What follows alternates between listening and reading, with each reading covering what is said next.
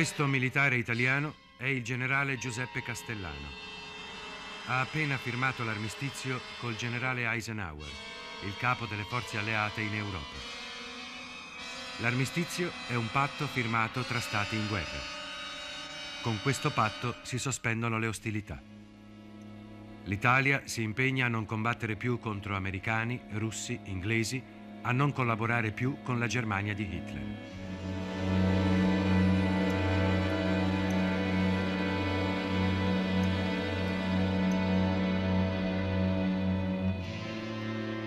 L'8 settembre 1943, in un drammatico comunicato letto alla radio, il capo del governo, generale Badoglio, annuncia al paese la resa senza condizioni alle forze anglo-americane. Ulteriori e più gravi sciagure alla nazione, ha chiesto un armistizio al generale Eisenhower, comandante in capo delle forze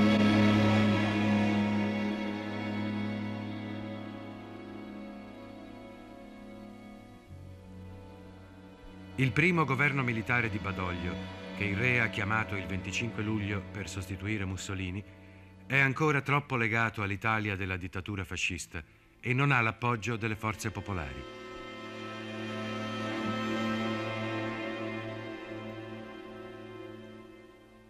Non è nemmeno riuscito a impedire che i tedeschi mandassero in Italia altre 19 divisioni, quadruplicando le loro forze. L'Italia è in gran parte nelle mani delle armate naziste.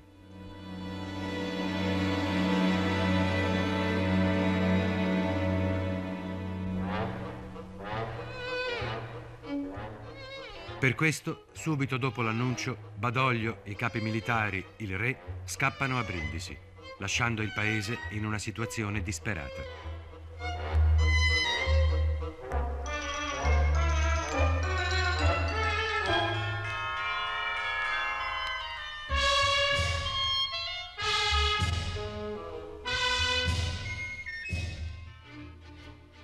Le forze armate italiane, lasciate senza alcuna direttiva, si sfasciano nella confusione generale. Gli alleati di un tempo sono ora nemici, gli avversari divengono alleati sospettosi. Il governo di Badoglio, tra il 25 luglio e l'8 settembre, ha perso 45 giorni di tempo prezioso. Non ha avuto il coraggio morale di cancellare l'alleanza coi tedeschi né di schierarsi dalla parte degli alleati.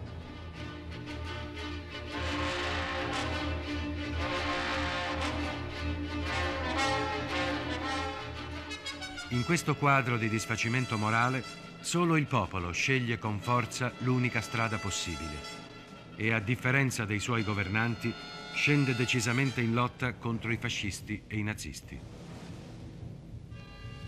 Quella dell'8 settembre è una delle date più oscure di tutta la storia nazionale e gli storici non sono riusciti ancora a fare piena luce su tutto il groviglio di avvenimenti. Uno dei grandi interrogativi rimasti tuttora senza risposta definitiva è quello della mancata difesa di Roma. In occasione dell'armistizio, sarebbe stato possibile impedire che la capitale cadesse nelle mani dei nazisti per nove mesi?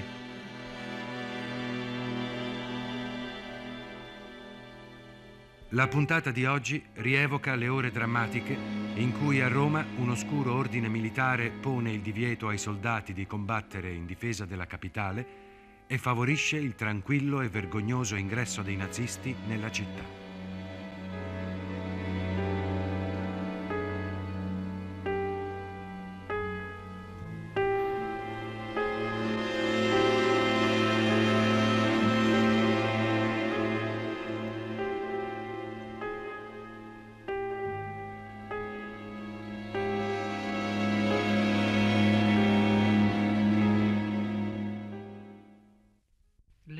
Trattative di armistizio furono condotte nel più assoluto segreto.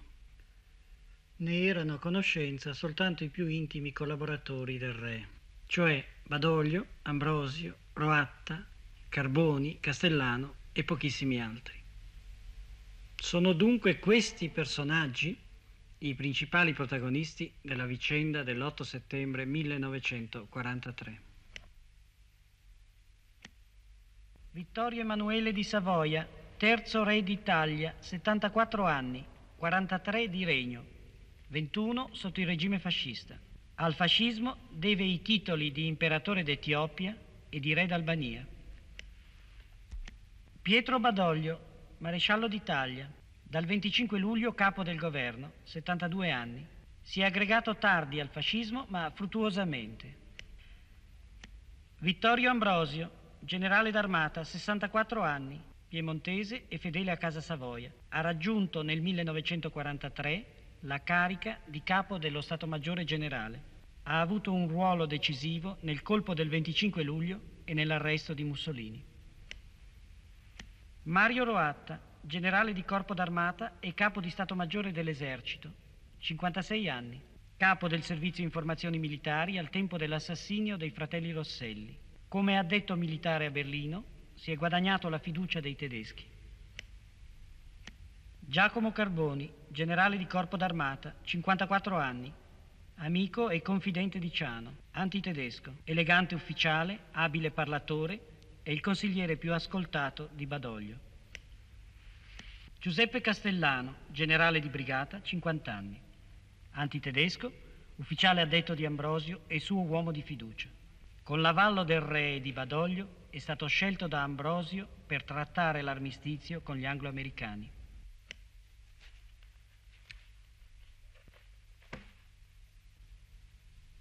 Il generale Castellano non fu il solo plenipotenziario italiano che avvicinò gli alleati per trattare l'armistizio.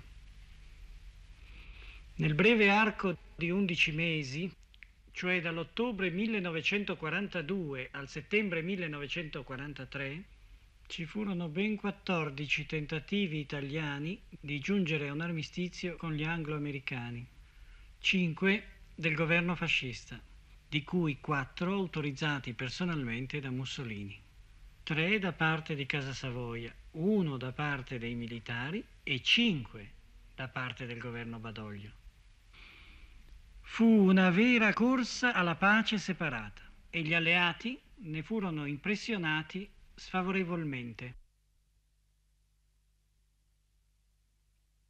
Per farvi ascoltare tutte le testimonianze sullo stesso piano di evidenza, abbiamo preferito farle interpretare qui da attori, i quali si esprimeranno però con le stesse esatte parole impiegate dai protagonisti dei vari e contraddittori documenti ufficiali con i quali hanno cercato di spiegare i rispettivi ruoli.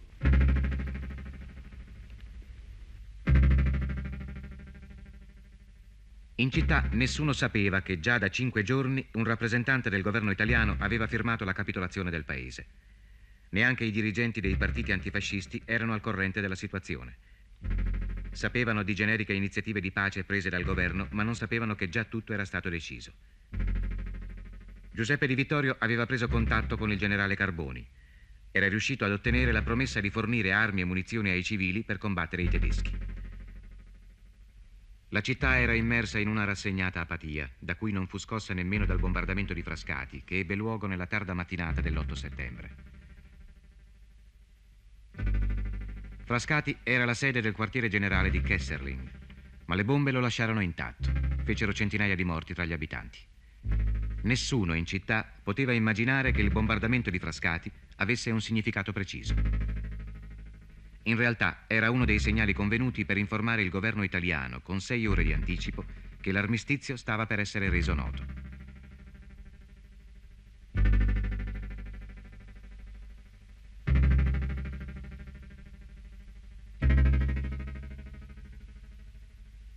L'8 settembre si stava per concludere come un qualsiasi giorno della ormai interminabile guerra. Ma alle 19.42 lo speaker della radio annunciò che il maresciallo Badoglio avrebbe rivolto un proclama alla nazione. Attenzione, attenzione. Sua Eccellenza il Capo del Governo, Maresciallo d'Italia Pietro Badoglio, rivolgerà un proclama alla nazione. Il governo italiano, riconosciuta la impossibilità di continuare la impari lotta contro la soverchiante potenza avversaria, nell'intento di risparmiare ulteriori e più gravi sciagure alla nazione, ha chiesto un armistizio al generale Eisenhower, comandante in capo delle forze alleate anglo-americane. La richiesta è stata accolta. Conseguentemente, ogni atto di ostilità contro le forze anglo-americane deve cessare da parte delle forze italiane in ogni luogo. Esse però reagiranno ad eventuali attacchi da qualsiasi altra provenienza. Sua Maestà, che sta facendo? Ah, è nell'appartamento del ministro Sorice. Riposa. C'è anche la regina. E quei corazzieri? E Sua Maestà ci tiene alla forma. Il maresciallo Badoglio, da parte sua, si è ritirato nell'appartamento del capo di gabinetto e in compagnia del figlio Mario. La situazione militare è seguita dal capo del servizio operativo, generale Utili. Alle 20.30 un gruppo di paracadutisti tedeschi ha occupato i nostri depositi di carburante sulle vie Ostiense. 18.000 tonnellate di benzina e 5.400 di gasolio sono cadute nelle loro mani. Le truppe tedesche della seconda divisione si sono messe in movimento. Alle 10 hanno infranto e superato il fronte della divisione Piacenza, quasi senza incontrare resistenza. Nella zona di Ostia i tedeschi hanno occupato le batterie costiere e alcuni nuclei di spiaggia.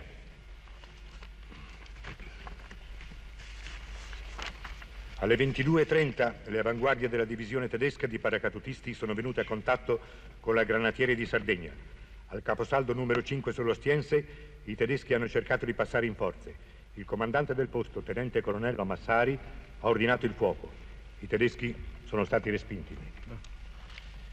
I tedeschi hanno attaccato il caposaldo 7, ma sono stati fermati dalla violenta reazione dei granatieri, che hanno contrattaccato e fatto numerosi prigionieri. Alla Spezia i tedeschi hanno interrotto le comunicazioni telefoniche e catturato alcune staffette motocicliste. Generale Eroatta, per fronteggiare l'attacco tedesco abbiamo una sola possibilità, fare entrare in azione tutti i nostri reparti. Il piano di operazioni contro i tedeschi, l'OP-44, è già in possesso dei comandanti delle grandi unità. Sanno con precisione quali ordini sono stati loro riservati. Dobbiamo dare immediatamente l'ordine che eseguano questo piano. Ogni esitazione potrebbe essere fatale. La scongiuro, generale, dia l'ordine. È una responsabilità che non posso assumermi da solo. Rendere esecutivo lo P-44 spetta al Comando Supremo. Vada lei dal generale Ambrosio.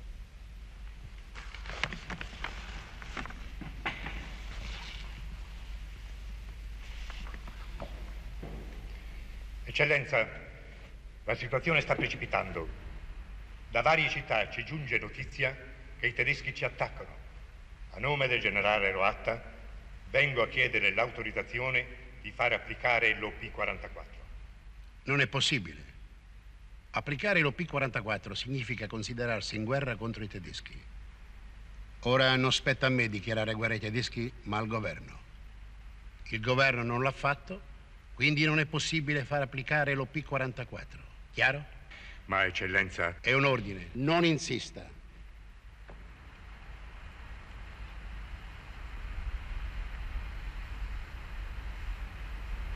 L'unico ordine è dunque quello di non dare ordini.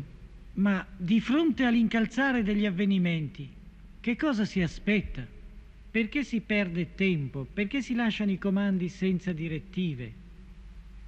Dopo tre ore, Badoglio si sveglia e si ritrovano tutti intorno al tavolo.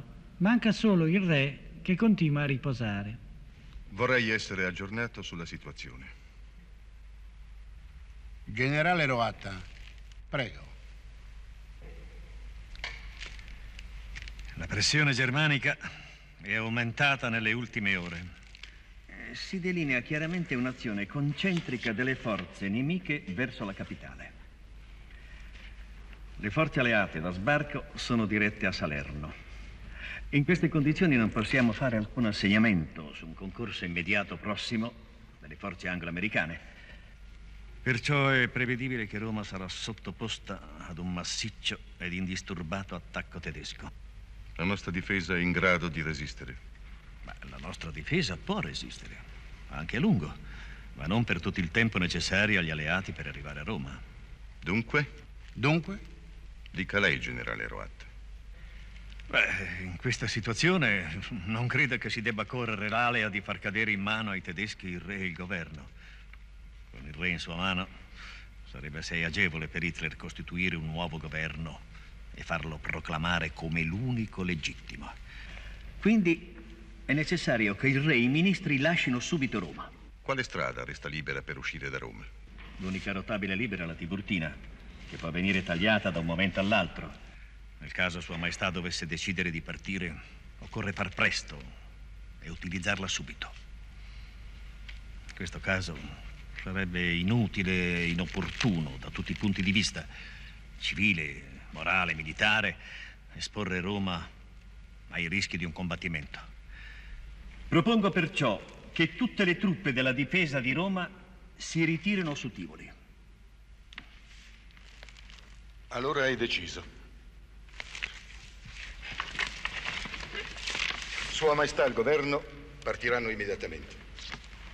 Verranno con noi il Comando Supremo e gli Stati Maggiori delle tre armi. Comodi, comodi. La fuga, dunque, secondo la versione del maresciallo Badoglio e dei principali protagonisti, è decisa solo all'ultimo momento, sotto l'incalzare dell'avanzata tedesca. Maresciallo Badoglio, può dirci se la partenza del re e del governo da Roma era stata mai presa in considerazione prima dell'8 settembre? Mai.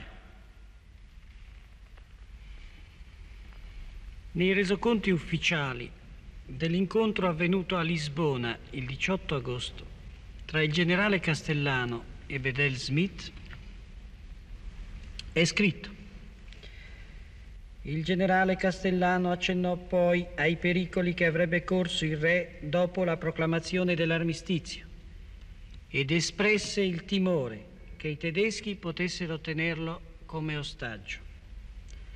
Venne suggerito che il re si mettesse in salvo su una nave da guerra italiana.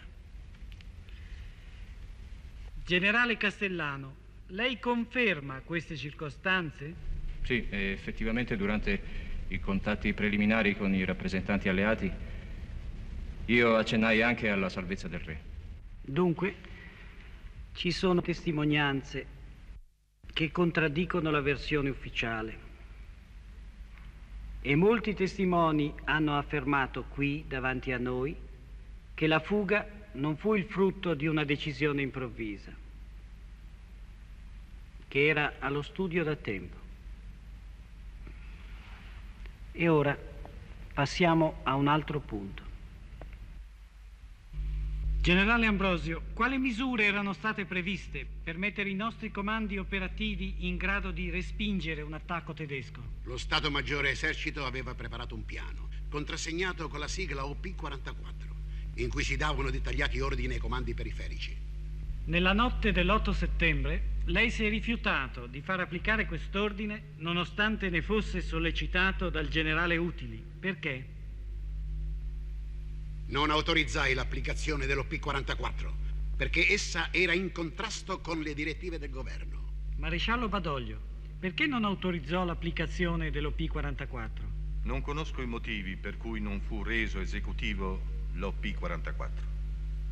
Nessuna autorizzazione in questo senso mi fu richiesta da parte del generale Ambrosio. Dopo il mio appello alla radio, ritenevo che non dovesse restare alcun dubbio circa il modo di comportarsi nei confronti dei tedeschi. Avevate detto, le forze italiane reagiranno contro eventuali attacchi da qualsiasi altra provenienza. Tutto qui. Generale Ambrosio, le ripeto ancora la stessa domanda. Perché non autorizzò l'applicazione dell'OP-44?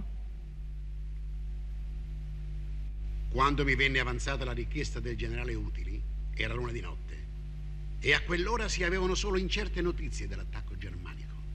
In quelle condizioni non potevo autorizzare l'OP-44. Il Comando Supremo non poteva impartire di sua iniziativa l'ordine di considerare i tedeschi nemici. Solo il governo, il maresciallo Badoglio poteva prendere questa decisione e non la prese. Quello che risultava dal proclama del maresciallo Badoglio era che l'Italia in quel momento aveva assunto una posizione di non belligeranza. I tedeschi non ebbero le stesse preoccupazioni legalistiche.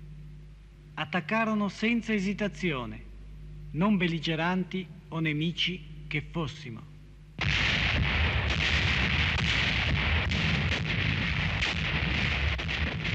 L'attacco tedesco investe Roma da ogni lato.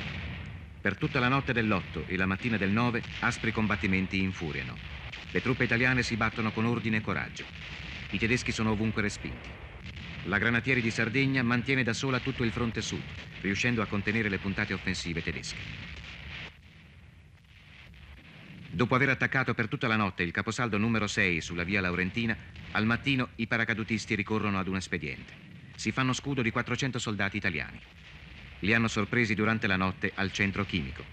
Ora minacciano di passarli per le armi se i granatieri non si arrenderanno. Il comandante italiano risponde che i suoi uomini non conoscono la parola resa e dà ordine di muovere all'attacco.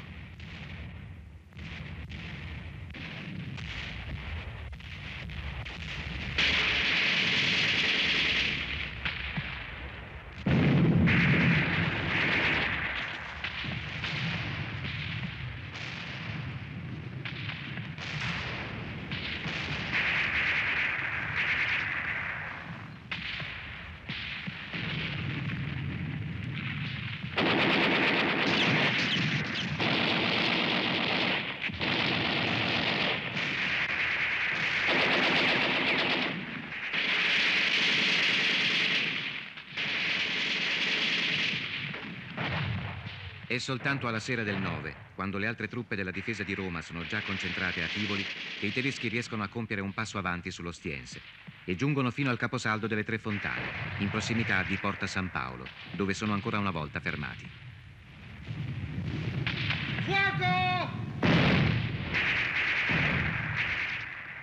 A nord anche l'Ariete, la divisione corazzata del generale Cadorna, ferma il nemico. I combattimenti più violenti si accendono a Manziana e Monterosi, dove due colonne tedesche cercano di aprirsi ad ogni costo la strada per Roma. Non ci riescono e subiscono gravissime perdite. Nelle prime ore del mattino del 9 hanno già perduto 370 fra morti e feriti, 16 carri armati, 80 automezzi. Hanno lasciato nelle nostre mani 200 prigionieri, tra cui 10 ufficiali. 9 settembre, Roma, ore 5 e 10 del mattino. Dal portone del Ministero della Guerra, Sua Maestà Vittorio Emanuele III inizia un lungo viaggio.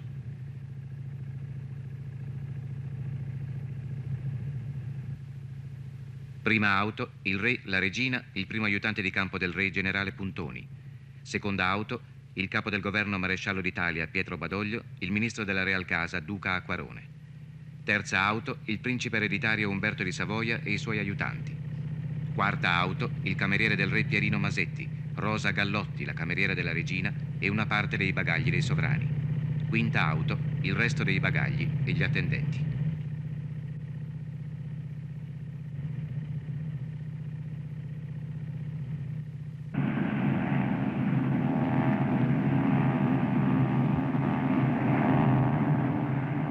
Si combatte a Monterotondo, dove i tedeschi hanno lanciato reparti di paracadutisti per impadronirsi della sede dello Stato Maggiore e sono stati respinti o catturati. Con ordine o senza si combatte dappertutto intorno a Roma. Solo sulla via Tiburtina c'è calma e su questa strada stanno transitando le macchine del re, di Badoglio, del principe Umberto e dei generali diretti a Pescara.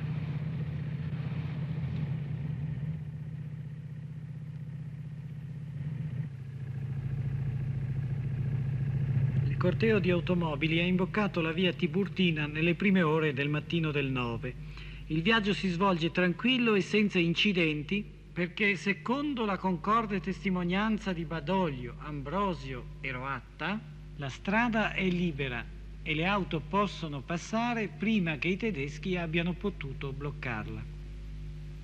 Il sottotenente Raimondo Lanza di Trabia, ufficiale di ordinanza del generale Carboni,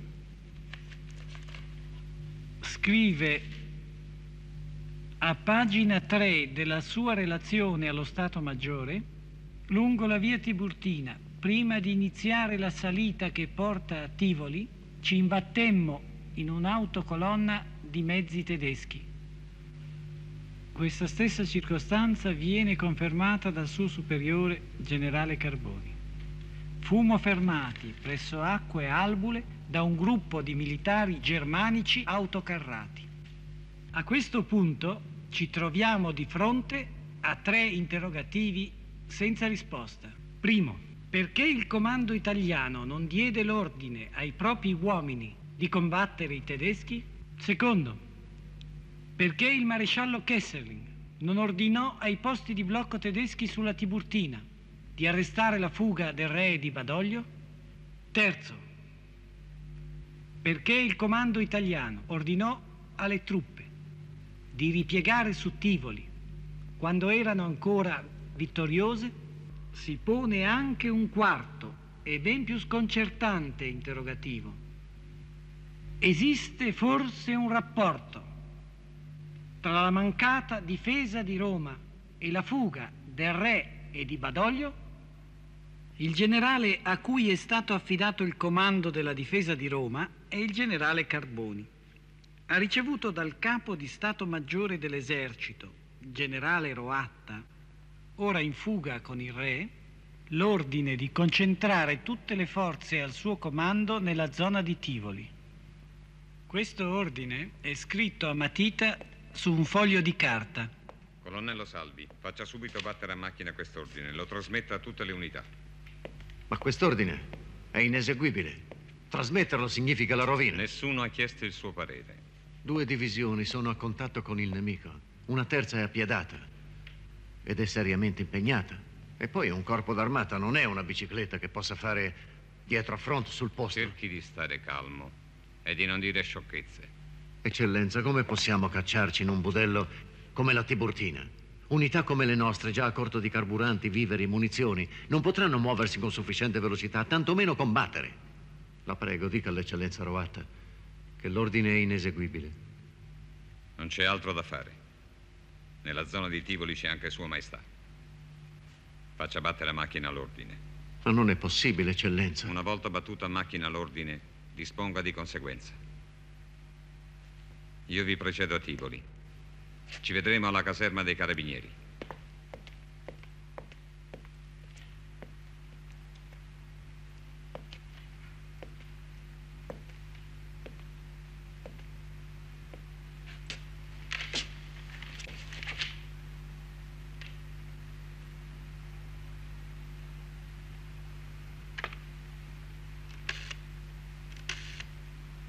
Pronto? Pronto. Divisione Ariete? Sì, divisione Ariete. Pronto, generale Cadorna? Sono il generale Cadorna, parli pure. Lo Stato Maggiore ordina il ripiegamento delle sue truppe. L'Ariete dovrà ritirarsi a Tivoli. Ritirarmi? Per tutta la notte i miei soldati hanno respinto attacchi nemici. Ora si apprestano a respingere un altro. Ripiegare è una pazzia. Noi vogliamo combattere, altro che ritirarsi. Evviva il generale Cadorna! Cercherò di mettermi subito in contatto col generale Carboni a Tivoli per far annullare l'ordine. Il generale Carboni, lasciata Roma, non si è recato alla stazione dei carabinieri di Tivoli. In compagnia dei suoi ufficiali di ordinanza, capitano Gola e sottotenente Lanza di Travia, è ad Arsoli, nel castello del principe Massimo. Non c'è nessuno qui? Generale Tabellini, devo comunicarle l'ordine di ripiegamento con le sue truppe a Tivoli. Io non ripiego. Dove sta Carboni? Ci ha preceduto a Tivoli, ma non riesco a mettermi in contatto con lui. In assenza del generale Carboni assumo il comando della difesa di Roma e annullo quest'ordine assurdo. Sono tenuto a farle osservare che, secondo la prassi, il posto del generale Carboni deve essere assunto dal generale di divisione più anziano. Il generale più anziano è il generale Calvi di Bergolo. Lo informerò subito della situazione. Calvi di Bergolo, genero di Vittorio Emanuele III, rifiuta di prendersi la responsabilità di annullare un ordine del comando dello Stato Maggiore. Così, nonostante l'opposizione di Salvi, Cadorna e Tabellini, Il ripiegamento su Tivoli ordinato da Roatta deve essere eseguito. La strada di Roma è aperta. I generali subalterni a Roma o alle loro unità. Carboni nel castello di Arsoli. La colonna del re e di Badoglio lungo la Tiburtina. Questa è la situazione la mattina del 9 settembre. Per non affaticare la regina, il principe Umberto propone di fare tappa al castello del Crecchio, che è di proprietà dei duchi di Bovino. Le auto, lasciate la Tiburtina, imboccano la strada di Brecciarola. L'Alfa Romeo di Umberto in testa. Verso le 10.30 giungono al castello.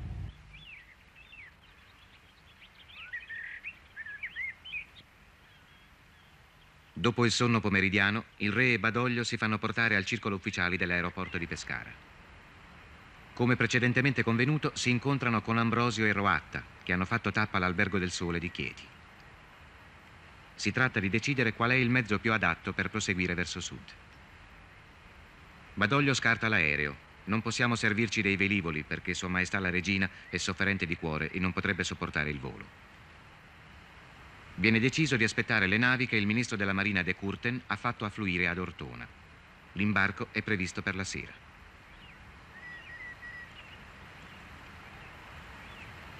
Il re propone di tornare al castello dei Bovino per cenare e trascorrere le ultime ore di attesa.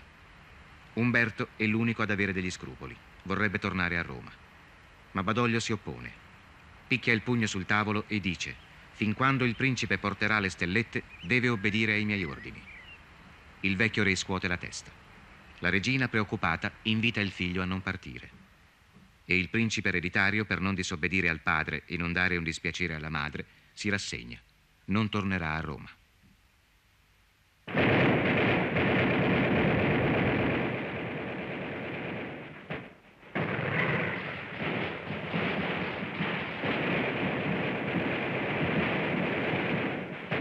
Intanto a Roma si combatte. Si combatte lungo tutto il fronte della Granatieri di Sardegna e si combatte soprattutto a Porta San Paolo.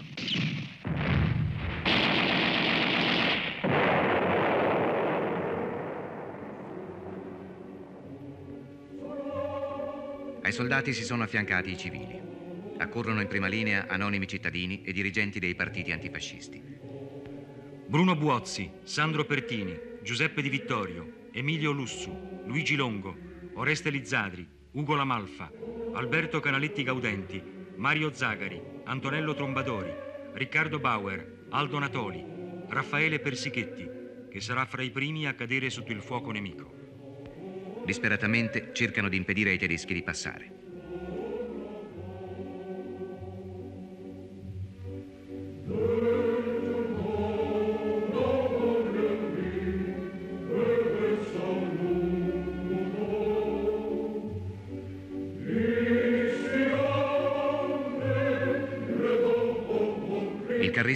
Baldinotti muore tra le fiamme del suo carro dopo aver messo in salvo il comandante. L'operaio Salvatore Lorizzo sostituisce l'equipaggio decimato di un autoblindo e continua a far fuoco finché non è ucciso. Il sergente Aldo Pastorini, ferito, continua a sparare e ci vuole una granata per metterlo a tacere. Il giovane diciottenne Maurizio Ceccanti, dopo aver ricevuto una raffica di mitragliatrice, continua a incitare i suoi compagni. Questi di Porta San Paolo sono i primi combattimenti della Resistenza.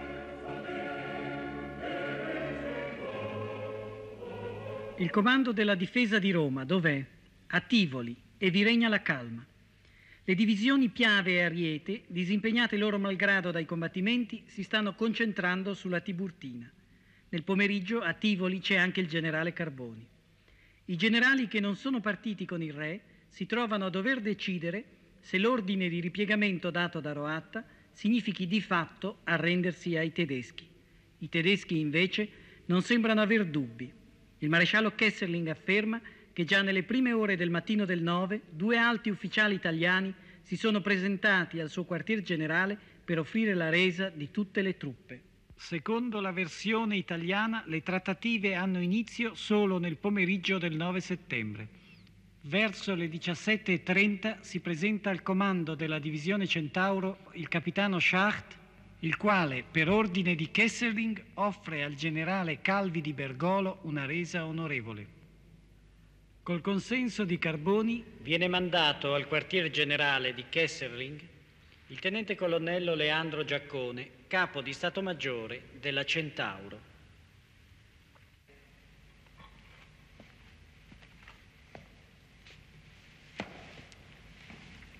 Maresciallo Kesserling, sono autorizzato dal comando italiano a prendere contatti con il comando germanico. Il comandante della difesa di Roma, generale Carboni, accetta in linea di massima l'offerta rivolta alla divisione Centauro, a patto che lo stesso trattamento venga riservato a tutte le truppe schierate intorno a Roma. Questa richiesta può essere discussa.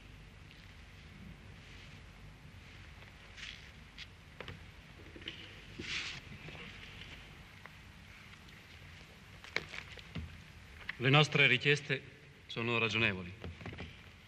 Vogliamo che Roma sia considerata città aperta. Vi resteranno quindi soltanto le forze italiane di polizia per il normale servizio d'ordine. Tutte le truppe, dopo aver deposto le armi, saranno mandate a casa in licenza illimitata. Alle bandiere e agli ufficiali deve essere concesso l'onore delle armi. Siamo d'accordo sulla città aperta ma sarà necessario che i reparti tedeschi entrino in città per assumere la protezione dell'ambasciata del Reich, per occupare la centrale telefonica e la sede dell'EIAR.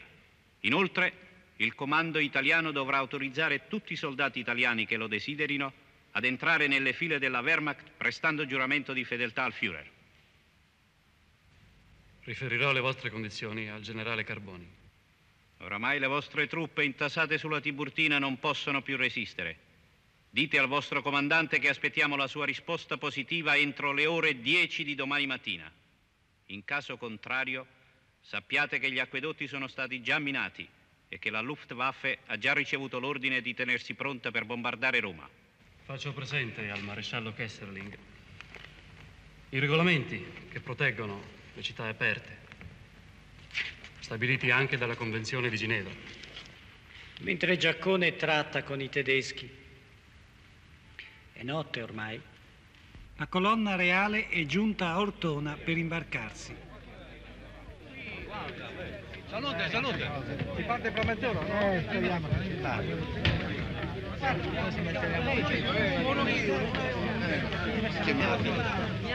Nel piccolo porto regna la massima confusione. Le auto dei generali hanno completamente intasato le banchine e i generali e i loro aiutanti si cercano, si salutano. Il re aspetta nella sua auto. Non si trova il maresciallo Badoglio. Avete notizie di Sua Eccellenza Badoglio? Maestà, non sappiamo dove sia andato. Se lei intanto volesse imbarcarsi. Aspettiamo che arrivi. Non voglio partire senza il capo del governo. Il re e il capo del governo devono partire insieme. Ordinate che lo cerchi. Dov'è il maresciallo Badoglio? Avete visto Sua Eccellenza Badoglio? Eccellenza Badoglio! Dalle 11 l'attesa si prolunga fino a mezzanotte e mezza. Alla fine il re, ormai rassegnato, ordina che si dia inizio alle operazioni di imbarco. Imbarchiamo.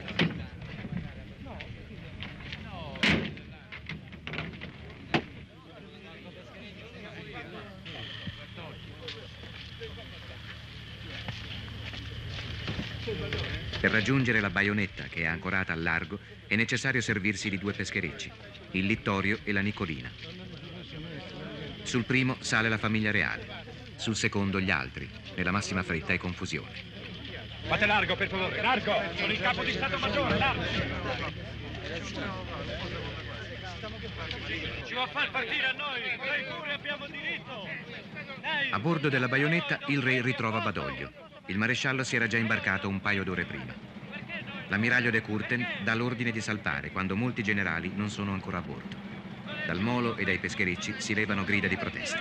È l'una di notte, l'ora stessa in cui il tenente colonnello Giaccone lascia il comando tedesco di Frascati per tornare a Tivoli a portare l'ultimatum di Kesselring.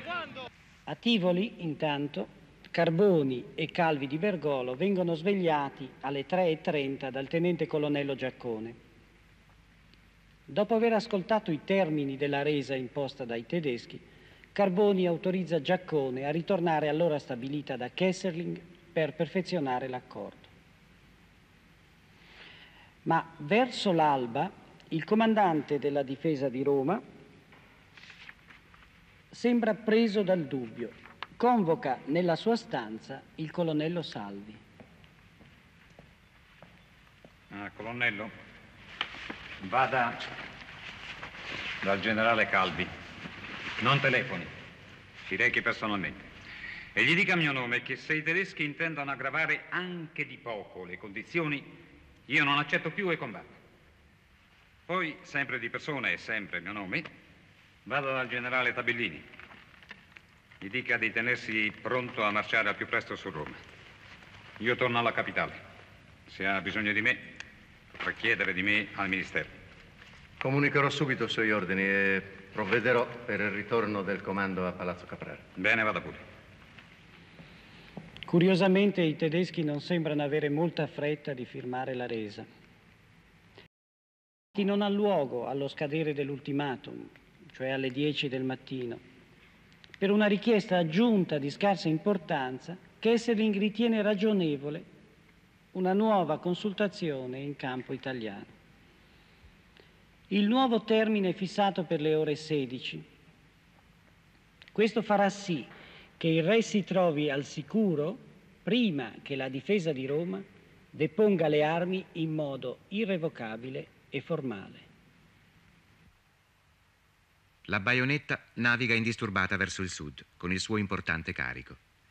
A un certo punto all'orizzonte compare un aereo tedesco che si mette a seguire la rotta della nave. All'altezza di Bari, scrive il maresciallo Badoglio, abbiamo avuto la visita di un velivolo da ricognizione tedesco che continuò a volteggiare per circa 20 minuti su di noi. Mentre il ricognitore tedesco accompagna la navigazione della corvetta reale verso il porto di Brindisi, al Ministero della Guerra a Roma si svolge una riunione importante. Sono presenti il generale Carboni, il ministro Sorice, il generale Calvi di Bergolo e il tenente colonnello Giaccone, ancora una volta di ritorno dal quartier generale di Kesserling. Naturalmente, eccellenza Carboni, spetta a te la decisione. Ma nell'attuale situazione non abbiamo scelta. No, no. No, questa resa è inaccettabile. Assolutamente inaccettabile. E per due motivi. Primo, ci è stata imposta con un ricatto, quello di massacrare la popolazione civile con un bombardamento indiscriminato di Roma. Secondo, che non ci si può fidare della parola dei tedeschi. I tedeschi hanno l'abitudine di violare gli impegni presi. E poi abbiamo qui il ministro della guerra. Eccellenza Sorice, perché non fai sentire la tua opinione? Certo, queste non sono condizioni accettabili. Però io non ho alcun potere per decidere. La mia è una funzione puramente amministrativa. E voi dovete regolarvi in base alle direttive avute dallo Stato Maggiore. Lo Stato Maggiore, lo Stato Maggiore è ormai lontano. L'ultimatum sta per scadere. Bisogna decidersi in fretta. Kesserling ha espresso a Giacone il desiderio di incontrarsi con te. Perché Carboni non vai a Frascati a trattare direttamente con lui? Ma neanche per sogno. Io non ho nessun desiderio di incontrarmi con Kessler. E poi l'ho detto, io non accetto l'armistizio, quindi non lo firmo. Allora dillo tu chi debba firmarlo. Tu, Calvi. Sì, mi pare proprio che tu sia la persona più indicata. I tuoi rapporti con i tedeschi sono sempre stati ottimi.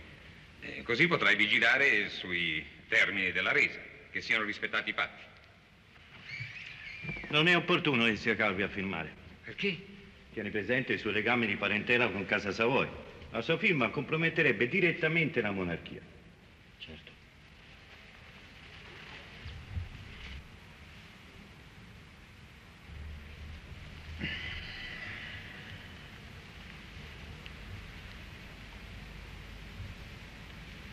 Allora, perché non facciamo firmare al tuo capo di Stato Maggiore, Calvi? Lei, tenente colonnello Giacconi, che ha già condotto le trattative con i tedeschi. Va bene, accetto. Sarò io a firmare l'atto di resa ai tedeschi. Non ho ambizioni di carriera né preoccupazioni di carattere politico. Ed è per questo che posso firmare senza pensare a quali possano essere le conseguenze per me. Firmo ma resta inteso che lo faccio per ordine di Sua Eccellenza Sorice e di Sua Eccellenza Carboni. Bene, va bene. Così, il 10 settembre 1943 alle 16.30 il rappresentante del comando italiano, tenente colonnello Leandro Giaccone, firma la resa di Roma ai tedeschi. Due ore prima, la corvetta Baionetta della Regia Marina è entrata nel porto di Brindisi, portando in salvo Sua Maestà il Re, il capo del governo Maresciallo Badoglio, il principe ereditario Umberto, il capo dello Stato Maggiore Generale, generale Ambrosio, e una ventina di altri ufficiali superiori italiani in fuga.